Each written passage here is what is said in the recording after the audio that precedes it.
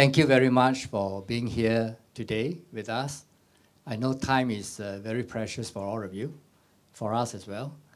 Uh, as Doc or Dr. Tan has said, uh, first we want to uh, uh, let you know that there's a new committee, Central Executive Committee, CEC, has been formed.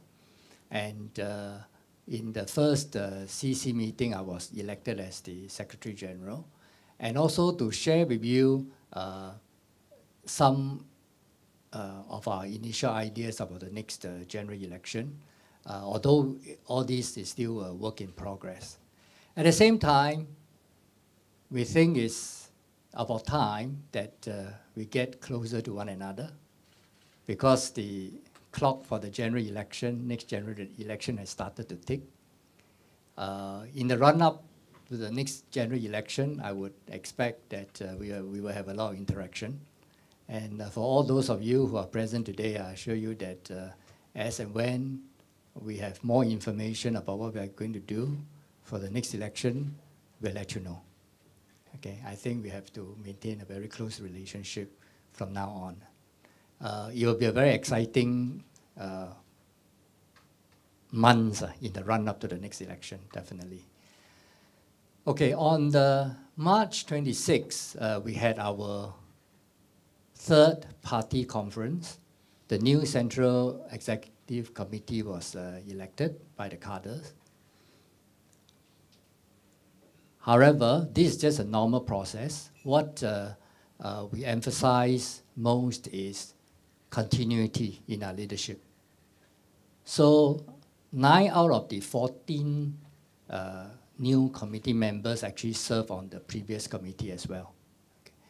Uh, in terms of uh, continuity, what we are trying to uh, uh um, say is that uh, there's no need to uh, dismantle any structures. We, I just need to build on the values and the structures that Dr. Tan Cheng Bock and Francis Yuen have put in place.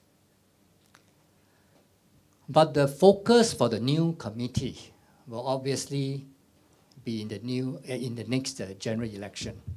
Okay, I together with the uh, CEC will strategize and formulate the the right uh, the the if, uh, hopefully an effective strategy for the next uh, election. but my immediate task now actually is about rallying our members and volunteers and direct their energy onto the ground onto the work that we are doing on the ground to cultivate more support for the party among the residents or the voters. There's still a lot of work that PSP needs to do to gain the voters' recognition. And uh, we will roll out our plan slowly, and I'm sure you'll find it interesting over the next uh, maybe six to uh, 12 months. However, the uh, spirit and the values that our party holds dear will remain the same. The spirit of selflessness, as encapsulated in our slogan for country, for people, will be our rallying cry. And uh, the values that we have always promoted since PSP was founded not for the pursuit of power and money, but to realize a society with progress and compassion. So these are the values we hold dear to our heart. And Dr. Tan actually embodies all these values. So there are a lot of uh, questions now and then about what is the role of Dr. Tan, you know, uh, is PSP still a Tan Cheng Bock party? I would like to say that Dr. Tan will always remain as the heart and soul of the party because his values and his spirit are the foundation of our party. Unlike some other parties which have a longer history, and as a result, they have groups of supporters that are quite uh, uh, uh, strong in some of their beliefs based on their past experience, like some parties have many members who were previously um, involved in some political um, activities, and as, as a result, they were, you know, they were jailed and all that. Uh, and there are many members in some other parties who have gone through the periods where land was taken away from them and all that. Our parties have few of such members. It was founded based, it was founded on the spirit and values of Dr. Tan Bock. The selflessness, the desire to serve the country and the people.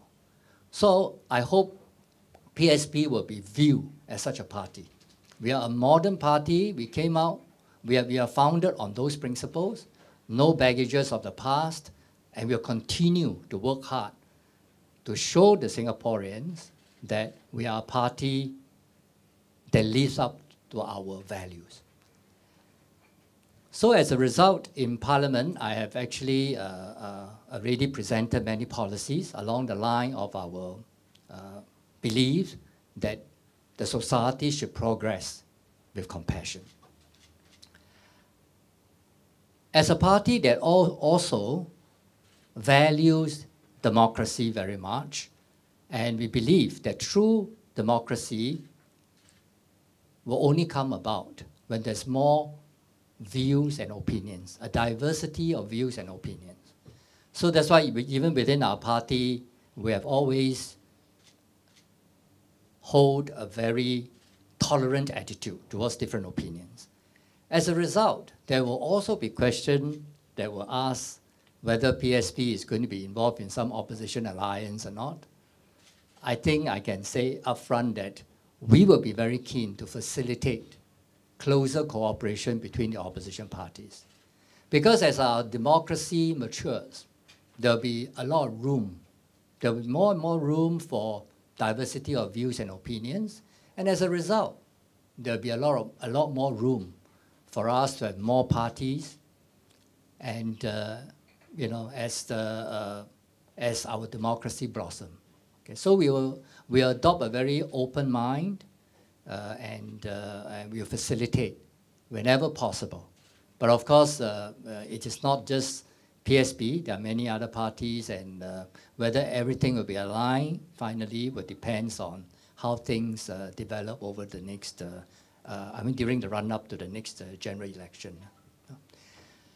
I say just now, my last point is that the next general election will be, I expect it to, and our party expect it to be very interesting and exciting because it will be an important election to decide on the direction of our nation in the next lap of our nation building.